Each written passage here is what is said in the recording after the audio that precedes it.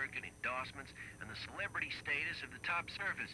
I was reading somewhere the other day that most of the top pros spend a lot of time working out in gymnasiums and studying motivational techniques. Some of them apparently even have full-time managers. Sounds like it's becoming big, big business. I just hope they still enjoy themselves. Talking with Rabbit this morning, he told me it's serious business these days, but he still finds time to relax. He reminded me that surfing today is of such a high standard that to stay at the top you really have to be dedicated and use every means to gain an edge and enhance your performance.